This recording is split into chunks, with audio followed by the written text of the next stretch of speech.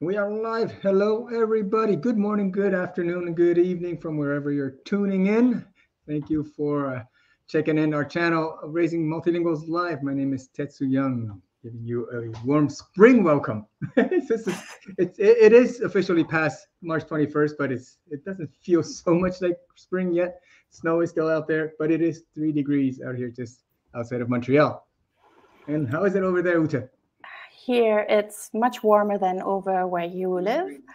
Uh, hello, everyone. My name is uh, Ute Limacher-Riebold from Ute's International Lounge.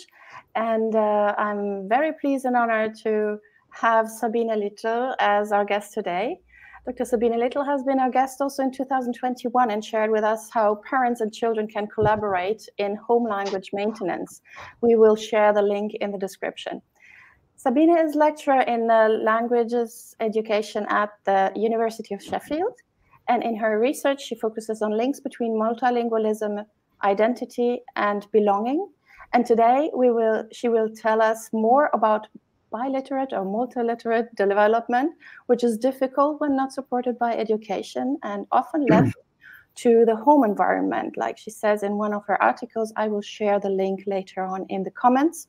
But before diving into the topic, Sabina, please tell us more about what made you focus on research on literacy in multilinguals. Sure. So, as you said at the beginning in your very nice introduction, thank you, is that I focus on multilingualism, identity, and belonging. So, actually, my research touches on everything and anything that is related to that. And I did a study about eight or nine years ago where I was focusing on, amongst other things, what parents of multilingual children are hoping or dreaming that their children might achieve multilingually. And I split that up across um, spoken language, written language, reading, so across all four skills listening, speaking, reading, writing, ranging from, oh, just being able to hold a basic conversation to you know as balanced bilingual as possible i'll come back to that um, later on and what i found out of that is that parents were much more confident in supporting the spoken language and they felt much less sure about how they might support literacy development. Now, personally, I love reading. Um, as we talked about the previous time you, you, kindly asked me to visit, I also have a multilingual child myself.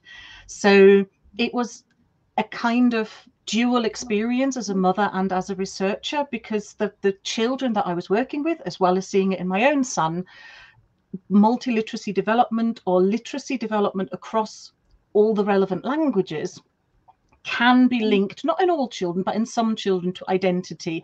That efficacy feeling, the feeling of I can do this in one language, but I can't do it in another language, was impacting on their sense of identity. And as such, it then firmly became embedded in my overall interest of multilingualism, identity, and belonging. Yes. So it's a it's a much broader vision that you are now mm-hmm. embracing in all your studies. So and I'm very grateful that you are embracing also the literacy part uh, like I told you before, and maybe we are going to talk about this in a moment, but can you maybe uh, explain uh, us about the difference between biliteracy or multiliteracy and uh, uh, asynchronous multiliteracy, and what is asynchronous multiliteracy? Maybe you can explain to those who don't know it yet. Yeah, I'm going to come back to to this notion of when I said the balanced bilingual earlier, and everyone in the room wrinkled their nose a little bit. um, so about 20, 30 years ago, there was this idea that if you are bilingual, you are fully equally competent across all languages. And thankfully, more recently, we've understood multilingualism or bilingualism as a bit of a sliding scale. And biliteracy is exactly the same. Again, I'm not going to go into too much depth of talking about literacy going beyond reading and writing, because of course there is also oracy, there's understanding of language, there's narrative, all of that is part of literacy. And I might dip in and out of that. Um, but for ease of, of this session, I will focus largely on the reading and writing um, of the language development. So biliteracy, just like bilingualism, isn't necessarily a balanced affair. I've lived in the UK for about 30 years. I came here to study at university. I was born in Germany. And I would consider myself to be highly competent in both languages. But if I suddenly have to do something like communicate with an insurance company in Germany or something like that, that's something I never had to do in German mm-hmm. until very recently. Um, and that is a register that I just don't have experience of. So I know all the individual words, but more passively rather than actively.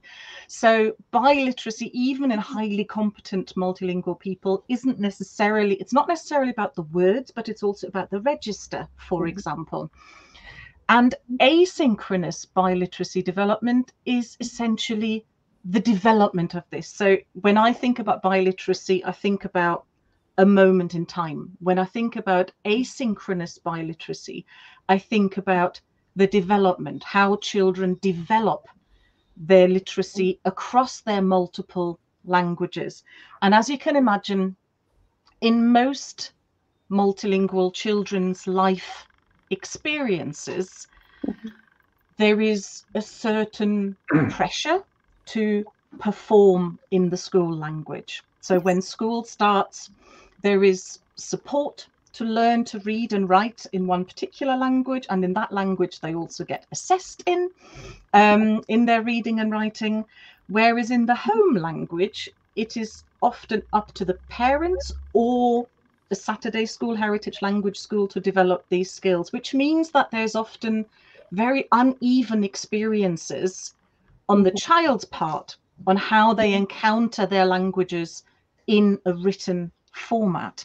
Mm-hmm. So often they yeah they have the increased support, um, but if they develop asynchronously, so one stronger at the other, I can use my own son as an example. When he was nine years old, he read a book. He had a reading age, school was telling him, of about 12 or 13 in English. Mm-hmm. Um, and he read books at that level. And in German, he read books aimed at six year olds because actually mm-hmm. nine was roughly the age when he was starting to pick up reading in German. He picked up a little bit earlier.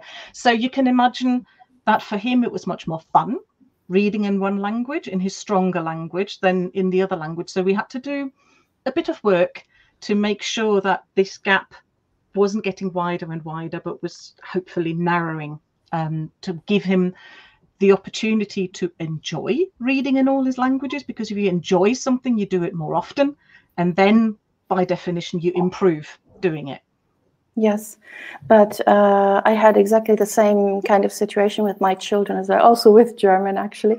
And uh, also this discrepancy between uh, the the their proficiency in reading in the school language and the home language became a problem exactly for that. And i think it's very important what you say to to uh, encourage parents to yes help their children maintain this interest and the motivation to improve their skills although it might be demotivating because you see maybe one book is is with a lot of pictures and the other one is already mm-hmm. without pictures right i, I remember that you had a presentation somewhere uh, where you you uh, showed the two different yeah. uh, pictures of the two books that your son was reading when he was nine years old and uh, in an article that i'm going to share in a moment you said also that books remain the favorite heritage language resource among multilingual families especially if they live abroad and there is no not this multilingual village around you. So that is the only mm-hmm. resource very often.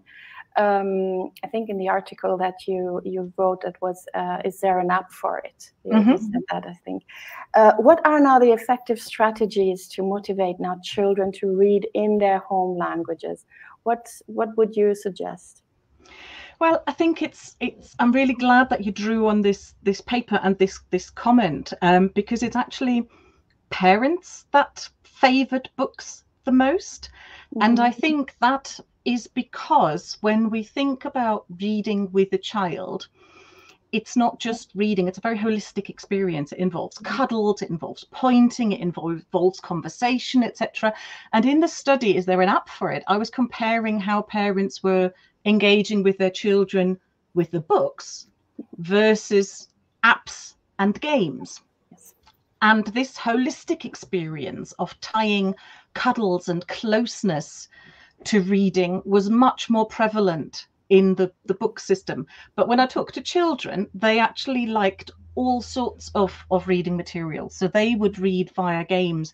So in terms of strategies, um, I think it depends a little bit on the age of a child. With a young a young child will come onto your lap and you'll read together. At some point, um, they might not enjoy that anymore. So what we did in our home was what we call you read yours, I read mine. Mm-hmm. So my son, we would both lie on the bed in the evening, and I would read my book, and he would read his book. Um, and it was a very non-threatening environment because he was just getting on with it. I wasn't intruding in his in his reading experience, but every now and then he could ask me a word, and it wouldn't mm. disrupt his reading experience because he could just check and I would just tell him and he could carry on enjoying his book. And in that way, I was able to scaffold his reading mm-hmm. and enable him to read something at a higher language level than he would have been able to had he been completely independent. Mm-hmm. Um, and other ideas actually come from the children that I've worked with. So, um, listening to the audiobook while you're reading a, a paper copy of the book or an electronic copy of the book, for example, is stat- is a strategy that one of the children in my research used. Um, synchronous reading, so either reading the whole book in one language first and then the other language, um, or even reading it chapter for chapter, so that you have a chance of, and either I've seen it both. I've seen children who prefer reading it in the language they feel less confident in first, and then in their more confident language to be sure they understood everything, but mm-hmm. also vice versa to sort of get, you know, understand the plot and what's going mm-hmm. on and then rereading it in the language you're not quite confident in. And also, as I started in the answer to this question, I wouldn't disregard gaming. Um, so my own son at some point was using a German word that I had no idea how he'd picked it up. And when I asked him, it turned out that several months previously, he had switched the language in his Pokemon game to German. So he mm-hmm. was actually doing an immense amount of reading in German um, without my knowledge. And I only found out when he used this highly technical term. And I said, where, where does that come from? Which, as you say, if you grow up or if, if you live in a bit of a language isolation like like we mm-hmm. do. We don't have a strong German speaking community around us. Mm-hmm. So there was a limited number of ways this word could have entered his vocabulary. Normally it was, was via me. Um, so it was a lovely surprise to see words entering his vocabulary completely externally to, to my input. So I think it depends a bit on working with the, the child's interest. And mm-hmm. I would argue that any work that happens with the child should focus on removing barriers to enjoyment. Oh. Um, so, what we want, what I want to achieve certainly, is to make sure that the child is happy to engage with the language so that they will do so voluntarily because once oh. that once that is you know once that bridge is crossed everything becomes a lot easier. So a lot mm-hmm. of my work focuses on working with the children and trying to identify what works for them to mm-hmm. remove the barriers to enjoyment and then take it from there. Mm-hmm. Yes, absolutely. You you were just uh, mentioning one strategy that is known maybe to the educators uh, who are following who who know this is the scaffolding, right? Mm-hmm. Um, and it can be maybe in, in this next context of the next question that we have, can you maybe explain how this transfer of literacy skills can look like or would ideally look like? You, you mentioned that uh, if your son was uh, not understanding a certain word, you could just chime in and, and explain to him and maybe uh, mm-hmm. tell him what this means so that he had um, an idea in what other contexts it can be it can be used. But are there other ways? Yeah, there is actually there is a comment here in the chat that I can see by Achim. Yes. Um, with no expertise in this at all, I would think that it makes a huge difference whether the several languages a multilingual person speaks share the same alphabet. Mm-hmm. Um, and yes, absolutely, that's that's what I want to talk about a little bit because I think the approach does depend on how closely linked the two languages are, and I would argue that they both come with advantages and disadvantages. Obviously, if if both languages or however many languages are involved share the same script or the same alphabet, that is one less element the child has to learn in order to become literate. Um, but at the same time, it can be a bit confusing when different letters or different constellations of letters follow different rules in the different languages. Now, English is a bit of an odd one out here because English has got so many weird pronunciation rules anyway um, that you kind of learn English and what you see on the page isn't necessarily what you get orally anyway. So children are already doing a bit of work around how different letter combinations may make different sounds.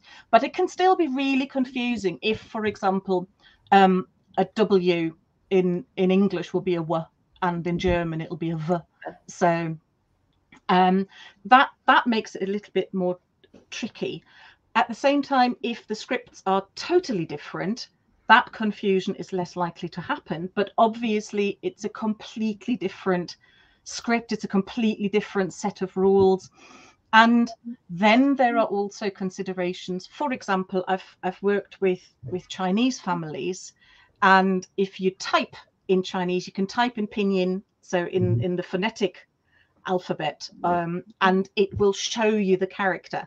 And that is how I can write Chinese. But if you ask me to write the characters themselves, I, I would not be able to do that at all.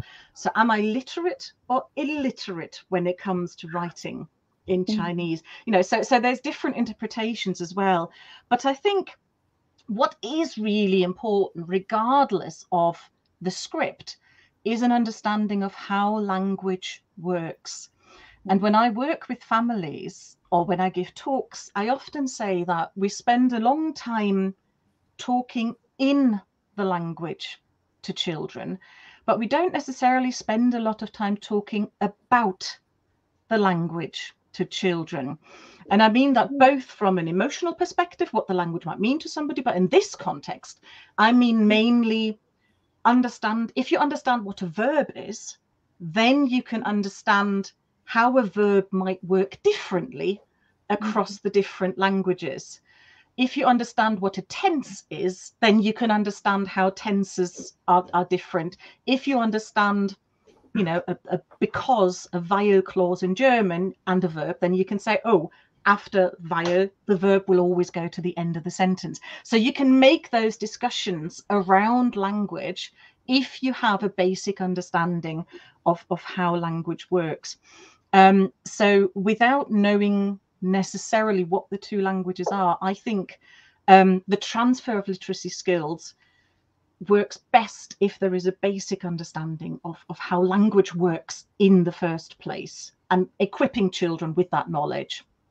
Mm-hmm. So independently of, of uh, how different the scripts are. Mm. Mm-hmm. I, I, think I think Sabina's point is that Mm-hmm. It's actually the other way, right? If, oh, if it's way. closer, then there's more commonalities, there's more overlap that you can work on.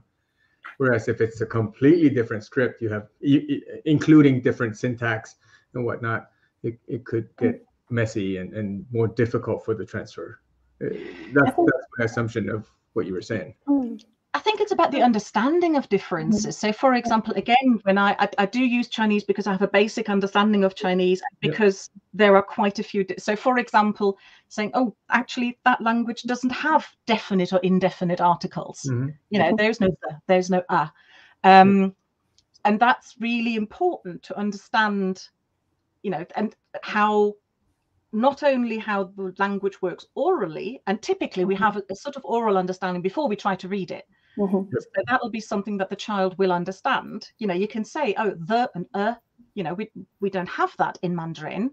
So look on the page, you won't find any character for the and uh, but instead you might find um, you know, a classifier or you know, like some or small or things like that. So mm-hmm. there are ways to integrate language knowledge, linguistic understanding into transferability of, of literacy skills. Yes, and I think uh, we touched here a very important point because we assumed now from what we were talking that uh, we are talking about languages that the children are quite proficient in already mm-hmm. when they start reading. Whereas if uh, they they were starting to to read in a language that they are just at the beginning of learning it, it's it's a complete other situation because they need to find out first the the different patterns, like you said, if there is a mm-hmm. definite uh, indefinite uh, article or if there there are certain verbs uh, where the verb position is or the different um, objects in the phrase.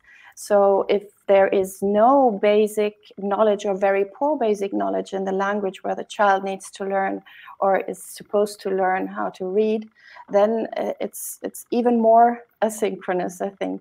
Yes, absolutely. Right? It's, it's, even bigger the gap uh, between the two. Now, I, I would like to, to concentrate now or to focus on, on the study that you did. Mm-hmm. Uh, you have analyzed the reading habits of uh, seven children aged 8 to 13 across multilingual families in England over 10 to 12 calendar months which is a, a great period. I, I, cannot imagine how much data you had. it probably took you several years. No, I'm, I'm kidding. Which gives uh, actually a very important insight into how uh, older multilingual children reading habits and attitudes look like. Uh, you also used, uh, I think it's Cliff Hodges' Rivers of Reading. Mm-hmm. And I would like to know what you found out. So, how can the rivers of reading help multilingual families in discussing multilingual reading and what is rivers of reading. I mean the yeah, maybe with that, yes with with that name we can have an idea but please uh, yeah. Yeah i was going to start with a sort of brief introduction of what it is in the first place. So the rivers of reading is is a methodology but what that means in reality is that children are invited to create an artifact and I say artifact, which sounds grand, but I tend to leave it up to the children what that might look like. And I've had long pieces of paper, I've had um, bits of wallpaper painted as a river. Um, I've had a PowerPoint presentation from a child. So for me, it's quite important that the children get to choose what their preferred way of showing their reading is. So the way a river of reading works is that children are invited to think chronologically, hence the river. So you start at at birth, at the source, and you follow inviting the children to share what they think were important reading experiences or reading resources. Um, I, I, I always shy away from just saying books because mm-hmm. actually in my research somebody was reading um, the racing um, the, the, the horse racing announcements with their mm-hmm. grandparents, and and that was important because it was part of bonding. So children are invited to consider the important things throughout their life that they have read. Most of them are books, but not all of them. Um, and especially in multilingual families, I try and get the, the children and the families to focus on which books were in which languages and why they were important. And it is important that it's important books and not just favorite books. Because when we go for favorite books, we tend to go for books, for example, that we found fairly easy to read. If it's something that you really struggle with, it's it, it's possibly not one of your favorite books. It could be, but if it's important, it can be important for lots of reasons. And one of the things that the study found was that multilingual children have much more complex reasons for putting books, or I'm going to say books just for shortage, but I mean all reading resources. Otherwise, I'm going to tie myself in knots yep. as I talk. Mm-hmm. Um, so, multilingual children have many more diverse reasons for including books in their river of reading. So, rather than just favorite books, they would include books that were the first book that they managed to read independently in one of their languages, or a book that physically accompanied them on their migration journey, or a book um, in the Rivers of Reading um, article. There's one girl who is talking about a book about brownies. Um, so the the guides, mm-hmm. Um, the, the UK version of guides and she read that book when she first moved to the UK. And then she proudly finished that bit of the interview by saying, I think it's two years later, I joined the Brownies. Mm-hmm. So they had the, the multilingual children included the books for many more complex reasons. And the paper goes into that a little bit. Mm-hmm. And what I like about the Rivers of Reading is because it starts as early as memory can can make it, it can't be done in isolation. So it needs really detailed communication with parents because parents are the ones who are going to remember oh you asked me to read that to you every single night. Do you remember? For months on end it had to be that book. Um, and they can help with that story. They can they can remember oh that's the one that auntie so and so gave you. Um, so the parents are really important in filling in the gaps in the memory. Mm-hmm. um, and that means that it's a fantastic opportunity for families to discuss reading experiences. And I think that is important from three perspectives. On the one hand, as I mentioned, for, for family cohesion, I think mm-hmm. quite often, again, we read with children, um, or if it's the school context, the child reads to us and we write it in the reading diary. But we don't often, I think, maybe some people who are listening do, but I think in general, we don't often talk about reading experiences and why a book was important or not important. So I think it's important for that. It's really important for the children because pretty much every child I've worked with on a river of reading was surprised by how much they had read in their heritage or home language. It was always more than they thought. And that always gave them that sense of, oh, I'm better at this than I thought I was. So again, it upped their, their self-efficacy, their belief, I can do that, which ultimately, mm-hmm. in many cases, changed the perception of reading and made them more willing to engage with reading in the heritage language. And I also think it's super important for schools as a way to explore what goes on in the home. So I've worked with multiple schools who set the River of Reading activity as a homework and then use that as an opportunity of really understanding literacy development in the home. You can often see how um, there is a stronger engagement with multilingual books at a younger age. And then when school starts and independent learning, the books in the home language often tend to sort of dribble off a little bit because of the asynchronous literacy development and yeah. children become less confident or they don't want to engage with the books that they consider a bit babyish maybe if they're not as strong in the home language.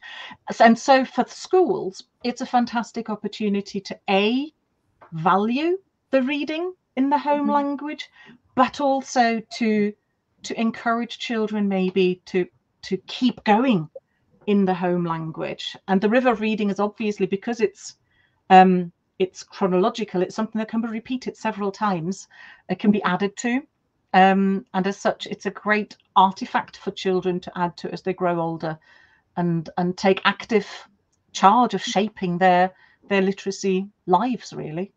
Mm-hmm.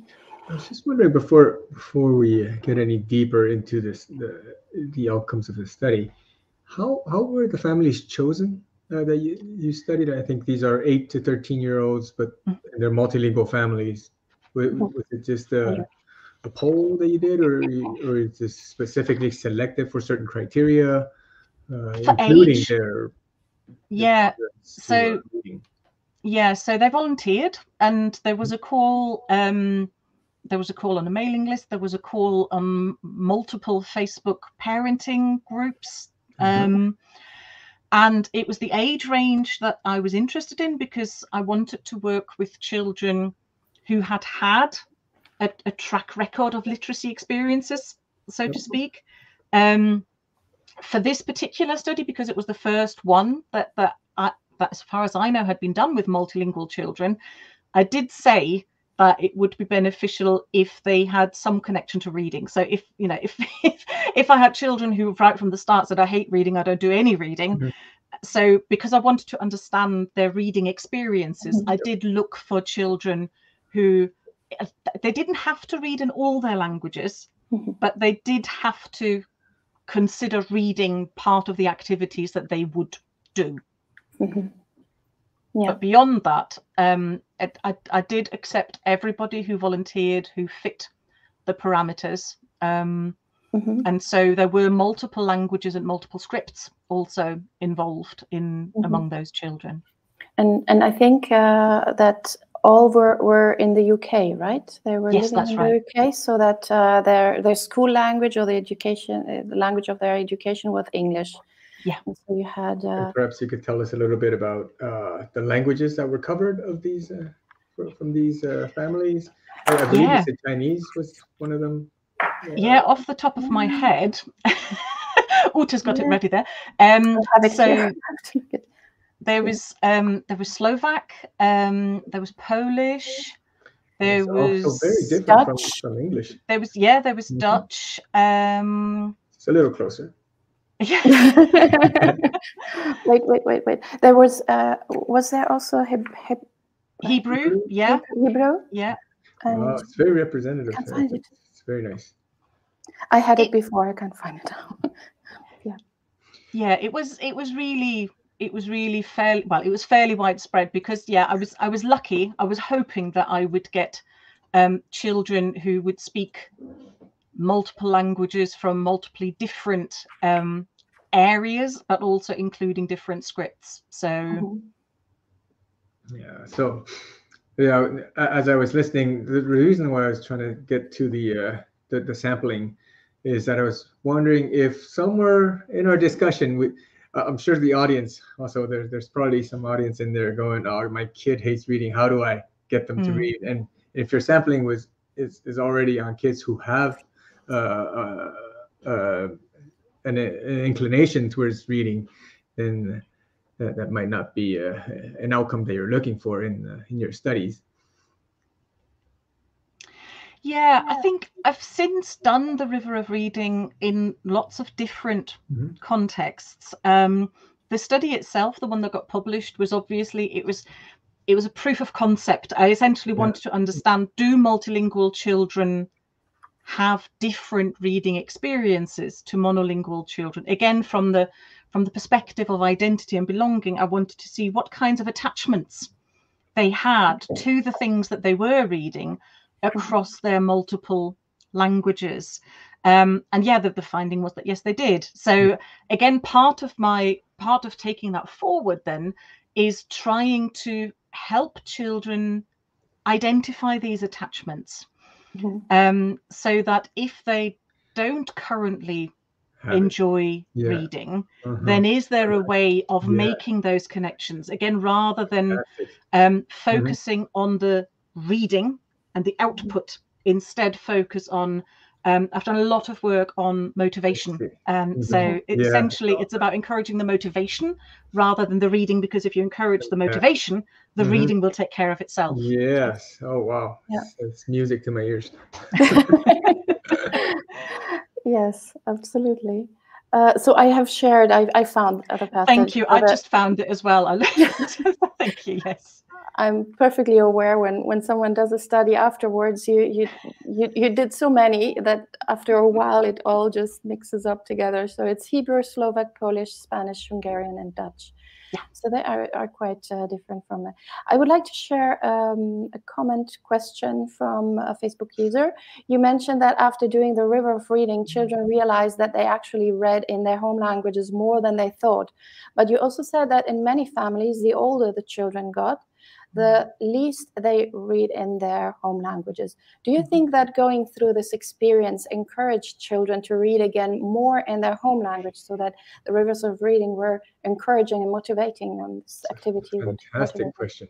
yeah absolutely. absolutely it did and i don't want to i don't want to homogenize all multilingual children um, but in the study um, there was one i'm not going to say the name because i can't remember the pseudonym that i gave him. So there was the, the, the hebrew speaking boy um, actually had a really negative attitude towards hebrew um, at the beginning. And through the river of reading he was starting to talk. He said oh actually this book um, I read for the plot, not not to practice my Hebrew, but this book I read for the plot. And that was one of the books that he included as being important. And of course, you can imagine if you own, if you're used to only reading books to improve your language skills, that might be experienced as quite a bit of, sort of drudgery. But Mhm. and then by the end of the study, this child had uh, begun to read to his younger sister in Hebrew. And I thought that was fantastic because it was it was not threatening. The language level for his younger sister was much lower. So he didn't have to negotiate the complexities of the language that he didn't feel quite confident in, Mhm. but he kind of picked it up his literacy development again alongside his younger sister. So by reading to her, he'd found a real purpose for Mhm. his reading, which made him more motivated. And like I said, it, it was non-threatening. The language level was something he could cope with easily. So he could focus on the on the plot, on the enjoyment, rather than on the grammar or or the, Mm. the vocabulary. And so if um, I've not followed up with him since then, but if he now grows with his sister apace, then that is absolutely fine. I mean, no, there's there's about three years between them or something like that. So actually, by now, the studies from 2019, you know, by now he he'll Yeah. you know. So Yeah. again, it, I think it's about the experience to come back to to the question of talking about reading and having it taken seriously, and especially in school. So Mhm. if a school says, "I want to know what you are reading," um, in schools, um, we talked about this just now before we before we opened up to the audience, but quite often children edit their identities in a school context, and they kind of feel that their home language identity isn't necessarily welcome. Um, I sometimes give a talk well in fact there is a talk where where i talk about um, the rivers of reading in more detail but um, I've, I've worked with children and trying to gauge their reading in their multilingual uh, in their in their multiple languages and i talked to them for about 20 minutes and none of them were telling me about their reading in their home languages and after about 20 minutes, um, this was a school focus group. I said, but uh, your teacher identified you as somebody who was reading in their home language. And my favorite, heartbreaking but favorite quote of, of all my research is an eight year old girl who said, Yeah, I've read all the Harry Potter books in Bengali, but why do you want to know about that? Nobody wants to know about that. So this eight year old girl had decided that because I was a, an authority figure in a school context, even though I asked poignant question, pointed questions about her multilingual reading, um, that I couldn't possibly want to know about her home language. So, and again, that study, that's that's now that study is now nine years ago. So we Mhm. have come on a long way since then. But the rivers of reading are a fantastic opportunity for schools to say, no, we do want to know. We really want to know, and then give. Um, I don't like the word ammunition, but give give tools to Yes. carry on those conversations about multiliteracies in a school context and showing that the home languages are welcome. Yes, and especially also what you just mentioned before this this uh, experience with this boy that he he uh, through this reading to his younger sister, or let's say also through sharing what children can read in their home language, it, it really enhances their their self efficacy Yeah. and also the the identity Yes. as as a reader in the target language or in the heritage language. That's very powerful uh, tool, I must say. It's And, an uh, amazing anecdote. I mean, I, I, I love it. It's so so representative of the stuff that Ute and I we, we talk about a lot. Mm. It's Yes. not the hard skills of the languages. It's Yeah. often what's surrounding it and that supports and lifts it up. And and, and I think the the same Facebook user put up a, a comment here. Thank you very much. I love that you did not focus on the ability per se, but the Motivation. motivation and the purpose it gave to children. It's it's it's exactly that. I mean, Thank you so much, Facebook user. Shout out, by the way, to everybody who's uh, watching right now Yes. on on YouTube and on Facebook. And on Facebook, we have the Facebook page. We have the our new Facebook group. So uh, uh, if we don't see the the person's name, it's often uh, somebody who's watching through the group, uh, which requires you to actually check a, a box to, to allow your identity to be reve- revealed. But still, anyway, thank you for a shout out to everybody watching right now. Yes. So I would like to to stay now in the in the context of education of schools, etc. Mhm. Because uh, and you mentioned also the translanguaging practices uh, in schools that are based on very often the assumption exactly that the pupils are able to read and write in the home languages. Something that I observed many years ago, and where I saw that there is a little bit of gap but maybe mm-hmm. by now it's closing or closed already. Mm. Uh, but we know uh, for a fact that for many this is not the case. So, what would you suggest teachers who are adopting translanguaging practices to make sure that pupils don't feel mm. inadequate, uh, not enough, not not proficient mm. enough, uh, etc.? I love that question, and and I thought a lot about it because I think not all teachers are necessarily confident in encouraging translanguaging practices in the classroom in the first place. And mm-hmm. I do a lot of work with teachers focusing on how you don't have to be a linguist in order to support multiple languages. You don't have to speak all the languages in your classroom in order to support multilingual children. But it can be tricky if you try your best and then, you know, go, let's do this. And then child goes, I can't write in that language. and you kind of feel you've made this effort and you've hit a wall. So thank you for asking the question. I think for me, it's about again, it's it's less about focusing on ability and more about focusing on I'm going to call it focusing on an environment where it's okay to know just a little bit. So we're not after perfection, we're after creating opportunities for children to use however much of their languages they are able to bring to the table at that particular moment in time.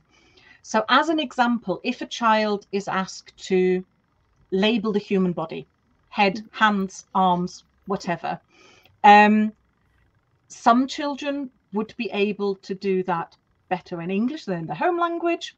Some people, new arrivals, might be happier doing that in the home language than in English. Some might know some words only in one of their languages, but not necessarily the same language, if that makes mm-hmm. sense. Mm-hmm. Mm-hmm. Sometimes we know um, like a child's word, like tummy, rather than belly or stomach, for example. So telling children, asking children, inviting children to do these activities across all their languages, however they see fit, mm-hmm. creates an opportunity to then go back to that and say, okay, I can see you know this in your home language, but not in English. Let's look it up together. Let's plug that gap. Um, you know this one in English, but not in your home language. Have a chat with your parents. Can they fill in that gap? So mm-hmm. the teacher would not be expected to correct the home language. It's more about creating an environment where children are able to to share. And again, we get this picture of their language and literacy development across their multiple languages. Um, I've got on on my project, the, the multilingualism in schools project, there is a similar activity um, on labeling a, a mini beast.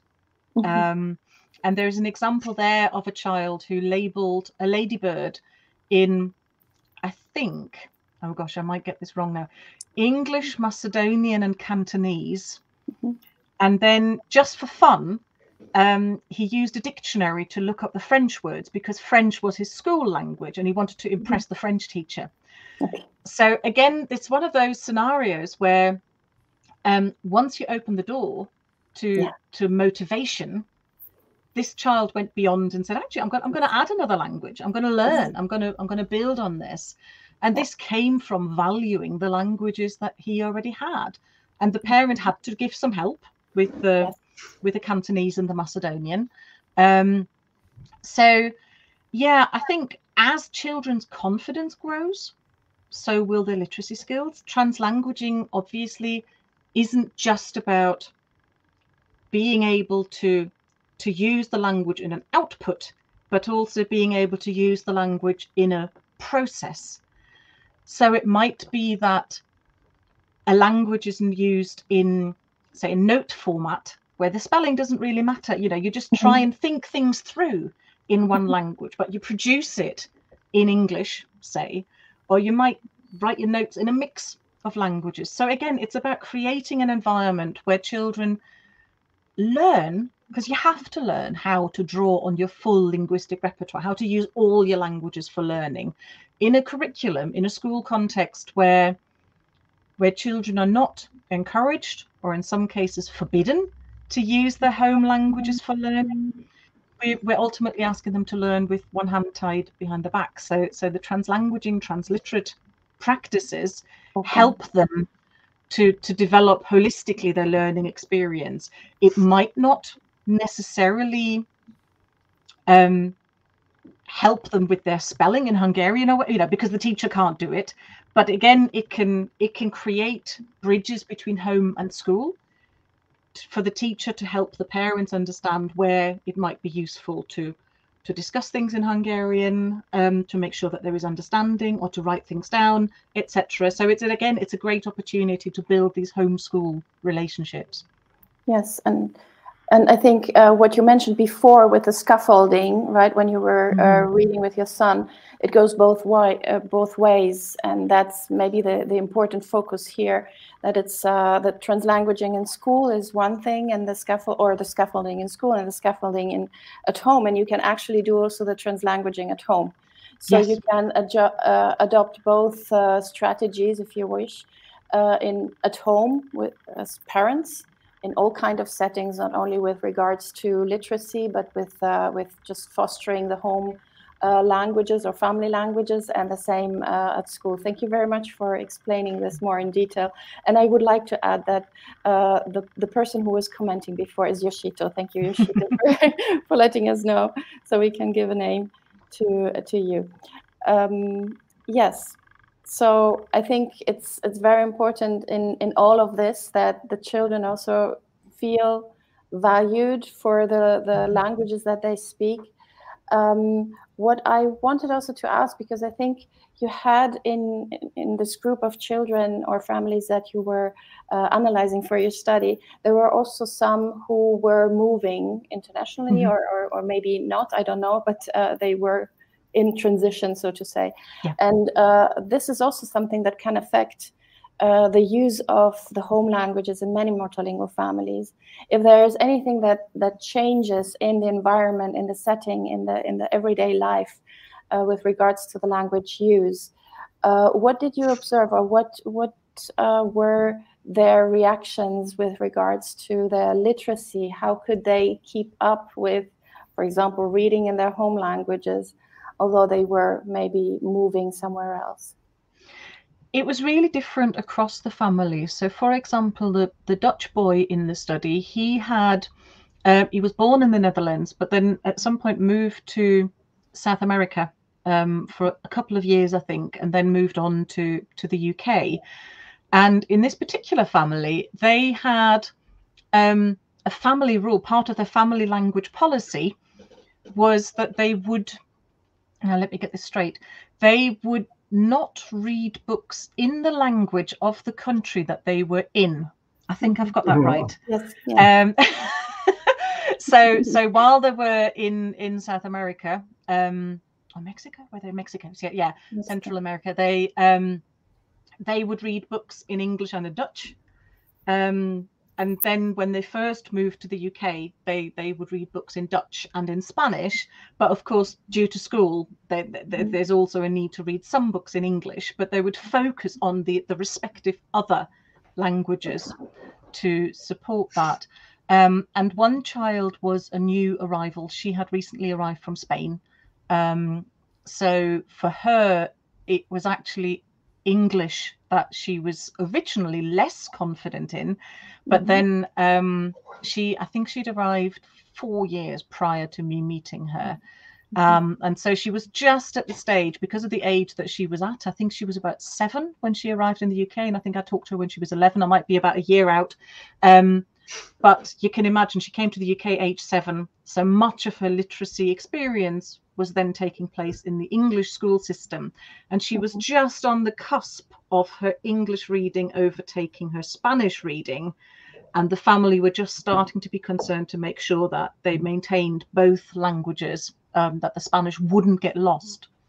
Yes, because I, I know that many families then worry that this this uh, change of uh, community environment, school language, um, provokes a shift in the whole mm-hmm. language use, and then that the children will, uh, I wouldn't say forget, but actually not use their home languages yeah. Uh, anymore. And then lead maybe even to yes not not responding in the language not not only not reading anymore in that language but also not responding. But what you said uh, before with schools being more and more inclusive and more and more supporting multilingualism also in the classroom that we hope that this will not happen too too many times in the future but still i think it's very very important for parents and educators to be aware of what is possible in order to, to really support these children. And also with regards to their identity right? We didn't speak mm. uh, a lot about uh, talk a lot about identity today but it's all omnipresent in everything that we say. So yes. So do we have any questions or or comments no so, and mm, no, I think it's good. It's good. Yeah. So maybe I can ask you the, the last question, uh, at least mm. for, for, today, or maybe I, I come up with another one. What further aspects are you going to focus on in your research? So we, yes, please let us know. Yeah, I think as I said right at the start, anything that's linked to multilingualism, identity, and belonging is mm-hmm. is my bag, is my mm-hmm. interest. Mm-hmm. So that does mean that I do some research with families and I do some research in the school context.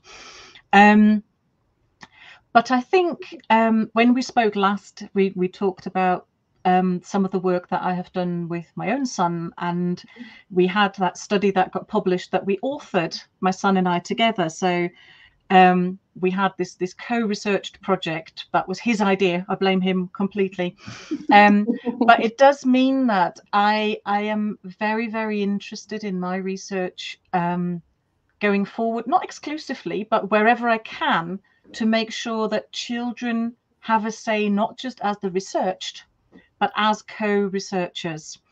So um, I have just finished a study that didn't actually involve multilingualism. Um, it was about critical digital literacy, so a completely different, well, slightly different approach, um, where we worked with young co-researchers aged 8 to 11. Um, and I'm just about to begin a project working together with a group of young Chinese heritage language speakers where I am asking them to help me develop the questions that I should be asking when I talk to children about growing up multilingual. So I'm getting more and more interested in working with young people themselves as co-researchers. There mm-hmm. is this this adage, this saying, no research about us without us. Um, and that is becoming more and more um, not relevant, but more but it's it, it's not as often done with really young children. Mm-hmm. So. I'm I'm hoping to do more work in that area um, because I think yeah it, what if i found one thing in my research then it's it's the fact that there's no such thing as a typical multilingual child mm-hmm. so i think working with a group of multilingual children is probably my best bet on making sure that i ask the right questions that's absolutely fascinating. I, can I get back to being a child and being I, I would love to.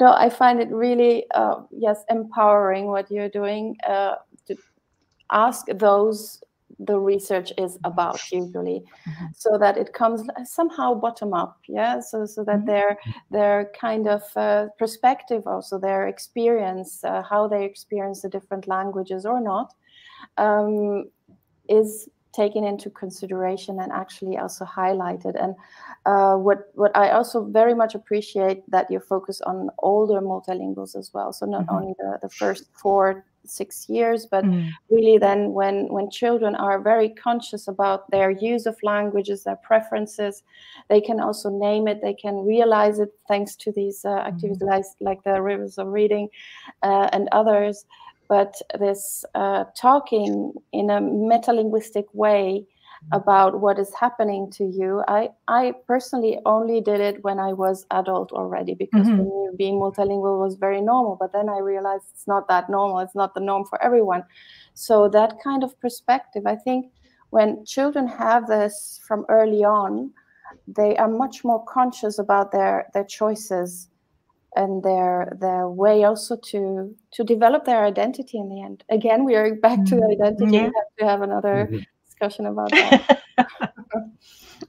yes, it's absolutely fascinating. Um, it, it, it was totally eye-opening for me listening to this link between literacy and identity. I, I mean, it, it's, it's normal if you think about it, but I don't know. I just never really thought about it this way. It, it it's always been mostly oral uh, communication that that was a stronger link to identity mm. in my mind. Uh, maybe because I'm I'm one of those kids who grew up not really liking reading. I think I wasn't. A, I'm not a very good reader. I still am not. Um, just don't enjoy it as much. Uh, I have four kids. Uh, my oldest doesn't like reading quite as much. Mm-hmm. I, I, think he he gets that from me. But the other kids, uh, they they bring the books to me and they want me to read uh, to them. So I'm, I'm glad you know I didn't pass on the that that that part to them. but but yes, this this link between identity and, and literacy. I definitely hope uh, you'll dig in much more uh, and and reveal more secrets for us. Uh, Happily discover. It's uh, it's absolutely been uh, eye opening for me uh, this session. So thank you so much. Thank you. Thank you. Yes. And what I also find interesting in these rivers of reading, because you mentioned that children were doing them with the parents, and then the parents mm-hmm. remember, you know, before the children remember themselves what kind of books they were reading. And then you go down memory lane, but you go also down memory lane on your own readings that you had as a parent. And yeah. what I found interesting was to see how they can overlap with the ones of our children, not because we ask them to read the books, but they mm. pick them themselves. I saw this with my children. I was always surprised when they would pick a book that I picked at the same age or around the same age. Mm. Said, what made you choose this? It's just interesting that we never talked about that. But then you have this kind of uh, synchronicity, asynchronicity, asynchronicity somehow. That's, uh, I think amazing. if if as a parent you love reading I don't. I, I'm, I'm not going to speak for all parents, but I think there is a there is an intimacy. You want your child to read the books that you really enjoyed because you want them. You know, if if you've been really touched by a book as a child, mm-hmm. Mm-hmm. you you kind of want to pass that on to your own child. You want them to share that experience. Um, and if that book I have got I have got that case. Well, in fact, I have found an English translation, but I've not told my son. Um, there is there is a German book that I absolutely adored as a child, um, and I've bought it for my son. Unfortunately, it's about that thick, um, and and I've encouraged him to read it, and he's he's started now. It's it's old. It's I think it came out in 1953 or something like that. So it's mm-hmm. it's it's quite antiquated language by now. It's not an easy book. Um, but I think, yeah, we, we want our children to share. Here's the identity again. We want our mm-hmm. children to share that part of ourselves. Mm-hmm. And if they haven't got the language skills to do that, then there is almost, excuse me, almost like a, I'm going to say like a grieving process that this is one part that your child cannot, you know, one part of your life that your child can't be a part of yeah. in the same way. And, and similarly, I think I've spoken to parents where the child um, didn't enjoy the same book. They read it, but they went, actually, no, I didn't like that. And then, yeah. and then that was quite hard for the parent to take as well, because of course, yeah, um, yeah it's quite common actually that that parents um, give their children the books that they read when they themselves were children, which by that point are obviously 20, 30 years, 40 years uh, out of date. um, and but it can be difficult for children who don't live in the country to access the the up to date the current books because the parents unless they have younger siblings or nieces or nephews or whatever they've not necessarily stayed on top so my mm-hmm. son um, discovered I, I think the books that my son read were entirely dependent originally on what was available on audible because yeah. that's he he did that thing he did where he read the audiobook or he listened to the audiobook while reading um so whereas i you know i tried to share certain books with him and he was really into Der kleine Drache Kokosnuss which wasn't around when i was when i was a child no absolutely yes uh, that that also because i mean uh, uh, like you said 20 30 40 years later the books that children read in the different age groups are mm-hmm. different from when we grew up but i, I would also reverse the whole thing and say mm-hmm. also our children can uh, they have preferences for books and then they share them with us and and these become then part of our rivers of reading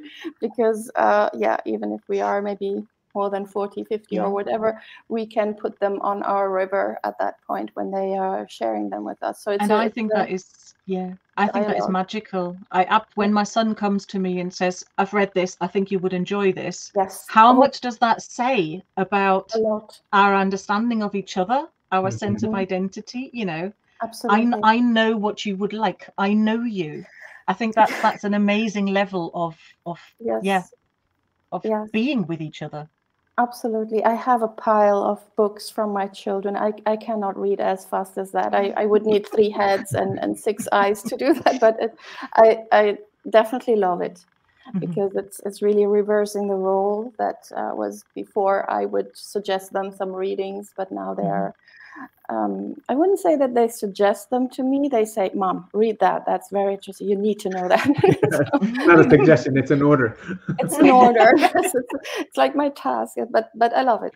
So, so thank you very much, uh, Sabine, for this very enriching uh, discussion or interview we had today about this. Uh, asynchronous uh, multiliteracy that can be synchronized to some extent thanks to some uh, exercises and things that we mentioned throughout the interview. Thank you very, very much for your time. Thank you so much for having me. Absolutely. Thank you so much for sharing your expertise and your and your time. It's uh we, every month every month we do this, right? Everybody who's watching on uh, YouTube and uh, and Facebook right now. Uh, and in fact, uh, recently, uh, Ute and I, we've actually started a, a new uh, activity on a weekly basis where we're going to be right here on this platform uh, every week. Ute and I will sit down and we can talk about kind of everything and anything related to raising bilingual, multilingual kids. so every every week, that's other than the third Tuesday, where we have experts come in such as yourself, uh, Sabina, and uh, talk to us about the cutting edge science and the research uh, in this niche. Uh, the other weeks, well, Ute and I will be sitting here and uh, sort of sharing our thoughts on past interviews, on what we're doing in, in our daily lives, on on progress within this uh, this platform, our our own platform, the Raising Multilinguals Live platform. So lots of things coming up on a timely basis, I guess, and periodically. So I do hope uh, everybody will be uh, logging in. If you have some time, uh, listen to us uh, chat uh, while you wash the dishes and whatnot.